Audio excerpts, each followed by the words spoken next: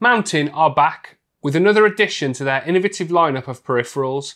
And as we've seen previously, they definitely like to bring something different to the table with their products. So let's find out what this mouse has got up its sleeve.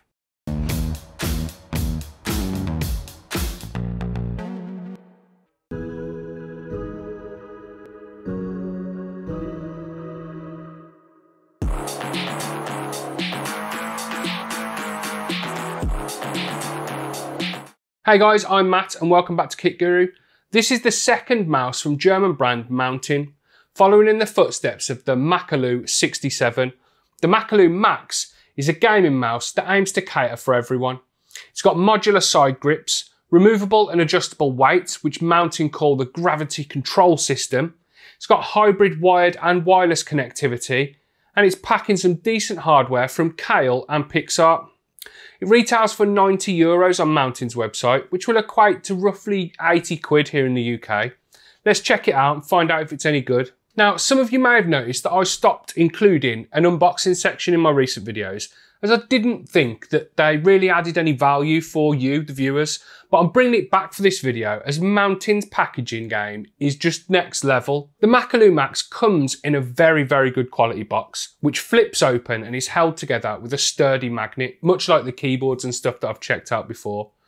Then inside of that, the mouse and most of the accessories are held in place with some really high quality foam. There's so much in there that it kind of looks like the mouse has got its very own little padded cell. The cable and wireless dongle are tucked away neatly inside of a, a wedge-shaped drawer that's attached to the upper section of the box. It's honestly a very, very nice unboxing experience with this product, as has been the normal with all of the Mountain products that I've checked out previously. Inside that box, you get the mouse itself, of course, along with two additional magnetic side grip panels, three weight rings, a six foot USB A to C cable, a USB A to C converter, the 2.4 GHz wireless dongle, and then finally a few stickers and then a quick start guide. The design of the Makalu Max can be changed on the fly using the weights and the side grips that I mentioned just now. Focusing on the shape to begin with, and you can set this mouse up in a few different configurations which take it from kind of big to absolutely massive. In its slimmest profile, it's still quite a hefty mouse. It's got a large base design which flares out towards the back there are eight programmable buttons which do not change no matter which setup you've got it in. It's only available in black, in the black finish that I've got here, and it's really smooth to the touch and picks up fingerprints really, really easily. The Makalu Max is a right-handed mouse, as the contoured body suggests. I think Mountain missed a little bit of a trick by not including the ability to convert the Makalu to a left-handed mouse, especially as it's got those removable side grips. But those side grips, as I mentioned, they only bring cosmetic changes to the shape of the mouse. And so moving the side buttons from the left to the right to suit a left-handed person would have taken a bit more in terms of connectivity. And I imagine it would have bumped up the price quite substantially. Adding both of the more ergonomic and bigger side grips to this mouse changes its shape quite dramatically. In its biggest form, it's huge, very, very huge. It's like the mouse has evolved into its next form, like some kind of weird nerdy Pokemon.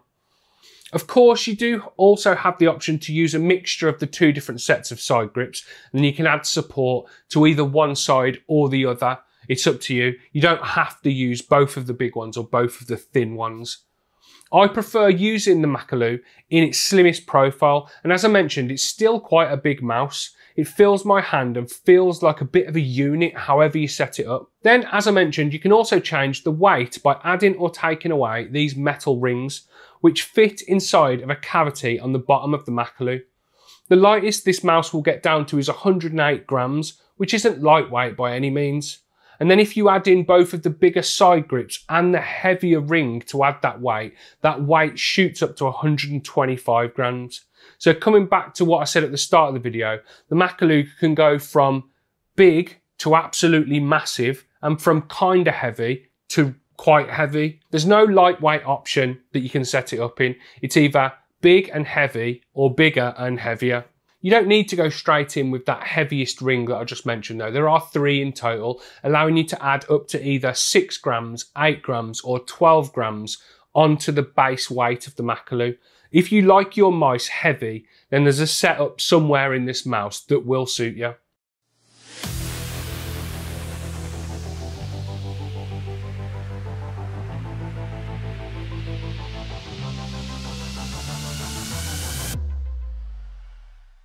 And moving on from the customizability to look more at the general design of the mouse then, and it's not bad in my opinion.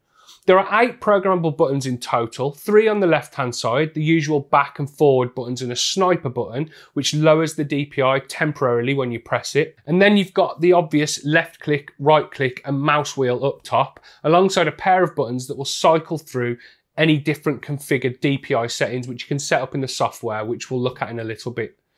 Those side buttons are finished in a brushed silvery grey plastic, which does look quite nice and they stand out quite nicely from the black found everywhere else. There is RGB on the Makalu Max in the form of a ring which encircles the mouse wheel and those DPI buttons. And the DPI buttons also do have an LED indicator to show which DPI setting you've currently got it selected on. There is a small mountain logo to be found on the base of the right click button and that's the only branding you'll find anywhere on the mouse, which I really appreciate. I really like subtle, minimal branding. The bottom of the mouse is a bit unusual, mainly due to that cutout section that holds the additional weights in place. And just above that, there's a small toggle switch for turning the thing on and off. The feet do their job well enough, the mouse does glide a little bit, but is held back from being really smooth and slippery due to its weight and its size. The shell of the Makalu Max is made from ABS plastic, and as I mentioned before, it's a fingerprint magnet.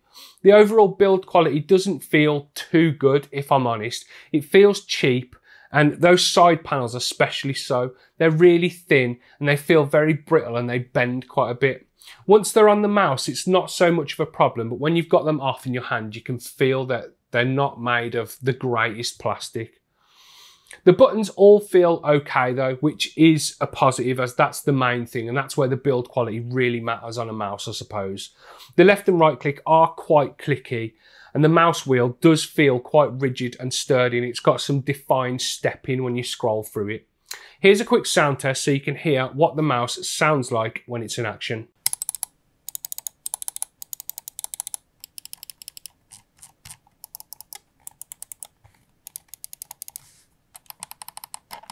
As for hardware, this mouse has a PixArt PAW3370 sensor and it contains Kailh GM 8.0 switches. The sensor, which we've seen in a few mice recently, is capable of up to 19,000 DPI, 50 G acceleration and 400 IPS tracking speed, enough to cope with whatever you throw at it. Those Kailh switches are rated for up to 80 million clicks, so they should last a long time. But if you ever encounter any issues, then Mountain back this thing up with a two year warranty, so you'll get a little bit of extra peace of mind. A pretty standard 1000 Hz polling rate is an offer, which again is enough for casual gamers. And overall, this is a pretty standard hardware setup in this mouse that we've seen multiple times on some different peripherals I've checked out recently. It'll handle anything you throw at it with ease. As for gaming, I've had an okay time with this mouse, but only when using it without any additional weight and with the slimmer side grips installed. Trying to play FPS games with the mouse in chunky mode just felt straight up weird. But that's just my preference and if you like a fat mouse, then you probably like it like that. Tracking, flicking, sweeping and precision aiming have all been okay and I've had no issues with the mouse not keeping up, but it, it's nowhere near the level of a lightweight mouse that's designed to do that sort of stuff. I did use the Makalu with the chunky grips on for work to try it out, but even then it just felt too big and cumbersome for me. I can't stress just how big it feels in your hand when it's set up with those big grips on the side. As I mentioned at the start of the video, the Makalu Max has hybrid connectivity. There's the 2.4 gigahertz wireless dongle, and then of course there's the cable, which does allow you to use it while it's on charge, so you'll never be left without a mouse while you wait for the battery to charge up. The mouse can take a second to wake up when it's connected wirelessly, especially if you have the soft sleep mode set too low in Mountain's Basecamp software, which we'll cover in more detail in a moment. The battery life stated in the specs for this mouse is 80 hours, which is quite a bold claim. And disappointingly, I got nowhere near that amount out of this review model. I've been using it for the past few weeks and I've been having to charge it every other day. Now, admittedly, I'm on my computer all day, every day for work and for gaming in the evening, but even still, it's not reaching anywhere near that 80 hours. And this is with the RGB on full brightness and the polling rate at 1000 Hertz, which will use up more juice, but that's how most people will use it, I'm guessing. I'm getting probably around 20 to 24 hours per charge. And it does take quite a long time to charge up to. It goes from about 15%, I stick it on charge at about 15% to 100%, took about three hours, which is quite a long time. The software accompanying this mouse is called Basecamp. It's a really on-brand name from Mountain. And it's okay, it's not the worst that I've used, but it's not the best either. It's relatively simple to use with tabs for profile switching, lighting customization, key binding, macros, and then settings like polling rate, lift off distance, and sensitivity. Switching from tab to tab does have a little bit of a delay, but that could be down to me using a beta build of the software for this mouse. The customization is all pretty self-explanatory, and the software does the job of tweaking the mouse as well as it needs to. I'd just like to see it streamlined a little bit to just improve how it feels, how snappy and responsive it is when you're clicking around between the various screens. So in conclusion then, it's a bit of a mixed bag on the Mountain Makalu Max. While at its core it is a decent mouse with good hardware, good sensor, good switches, I just feel it's a little bit too heavy for my taste. If you like a chunkier mouse, then it might be worth checking this one out and it might suit you a bit better. I feel the, the extra side grips do lack a little bit in the build quality department. They do feel slightly cheap, but they're not too bad. But in its slimmest form, it's still a bit chunky for me, for my personal tastes anyway, but that might be something you're after. Overall, I feel it's quite a versatile mouse. It's quite innovative, again, as we're used to see him from Mountain. And this is what the industry needs, to be fair. Just try something different. But it could be a little bit better. And that's the end of the video, guys. Please leave a like down below if you enjoyed it. Don't forget to subscribe to KitGuru to keep up with the latest PC gaming news and reviews. If you go down to the video's description, you'll find links to our Patreon page, our Discord server, and our website if you want to check any of that out. And just underneath the video, you'll find links to buy any of the merch that you see me and the other guys wearing in our videos. Anyway, guys, I've been Mat. This has been the Mountain Makalu Max. I'll speak to you in the next one. Look after yourselves.